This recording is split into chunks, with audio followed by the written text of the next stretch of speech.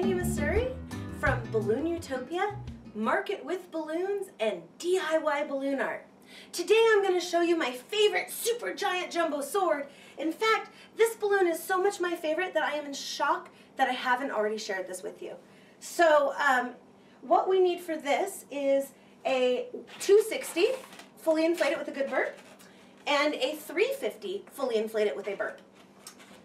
But before we start, we got to do the commercial.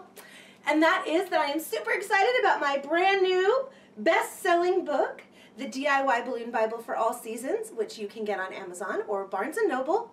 In this book, we have more than, I think, uh, more than 25 designs. 12 of them are seasonal designs that are exclusive to this book. One for every month and every holiday uh, that's in those months. So you can see we've got a Christmas tree, and here's something for uh, flowers for May, and ice cream for June, and pumpkin for Halloween, and there's a lot more in here. So uh, go on to Amazon, go on to Barnes & Noble, go wherever books are found, and check this out. All right, awesome. Well, without further ado, let's get started teaching you this sword. All right, so this one is like super simple. I make this one all the time. So we're gonna take our 260, and what we're gonna do, I usually give it a little stretch, we do want it a little squishy, but it's only getting one twist, um, but we are putting pressure on it by spiraling it.